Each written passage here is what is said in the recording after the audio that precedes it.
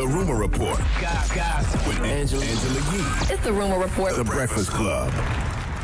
Well, Rita Ora's new song has caused all kinds of controversy. The song is called Girls, and it, features it features Charli XCX, uh, Bebe Rexha, and Cardi B.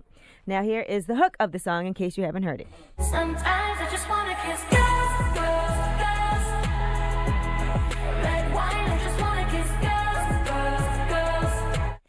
They want See, I just wanna kiss girls, girls. girls, girls. Right now, here is um, Rita Ora's verse.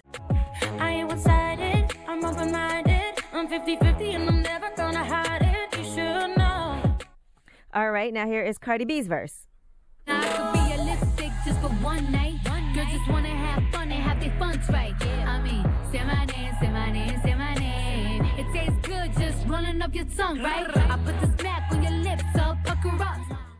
So the song is about girls kissing girls. Girls Right. liking girls, yeah. No, it was Katy a- Perry did it better. No, it was offensive to the LGBTQ community. Why? Why? Now, Kehlani posted, hate to be that guy, but there were many awkward slurs, quotes, and moments that were like word, word. And Kehlani said, and don't make this personal. I have an incredible song out with one of the artists and would love to work with the other three as well. There were harmful lyrics, period. Love y'all. I missed it. Like what? were the Which one? Yeah, which one?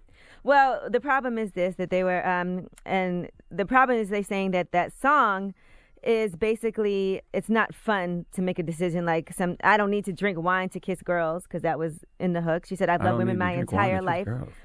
In other words, it's not a fun thing just to say okay I want to be you know kiss girls sometimes and kiss guys sometimes. People were offended. Now Rita Ora, Ora has since apologized. For She what? said, I must be I'm sorry how I expressed myself and my song has hurt anyone. I would never intentionally cause harm to other LGBTQ people or anyone. Looking forward, I hope that continuing to express myself through my art will empower my fans to feel as proud of themselves as I'm learning to feel about who I am.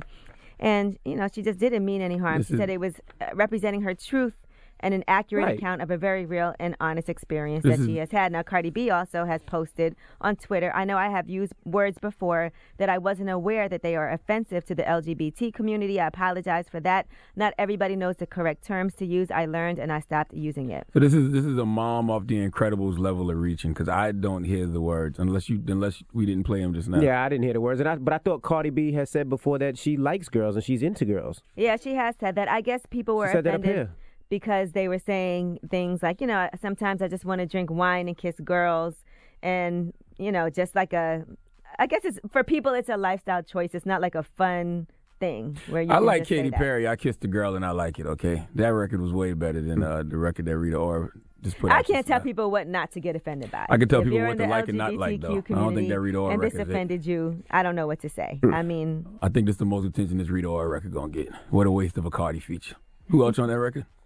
Uh, Charli XCX and What a Bebe waste of a Charli XCX feature. You don't even know the and person's Baby name. Rexha feature. I just hear a bunch of wasted features. That's Oh all my I goodness. hear. My goodness. Don't worry, Rita. You're still pretty.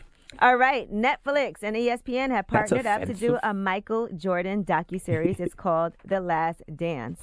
It's going to chronicle the simultaneous rise of Jordan and the Chicago Bulls and how popular the NBA was during the 90s. And Jordan is participating in this, as well as other people who were very key figures from the Bulls championship teams. I'm here for that. There's going to be Mm-hmm. more than 500 hours of never before seen footage.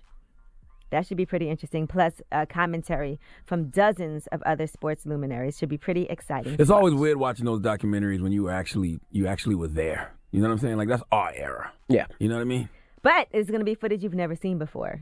So I'm excited about it. that should be interesting. It's directed by Jason Hehir. He did the Fab Five also. I'd rather than put out some sneakers I've never seen before.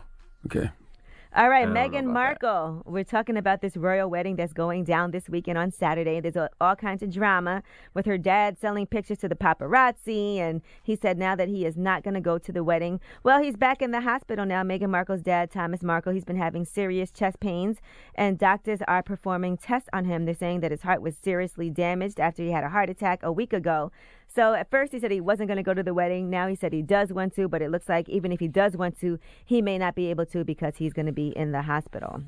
So just giving you an update on that royal wedding that's going to be all over the place this weekend.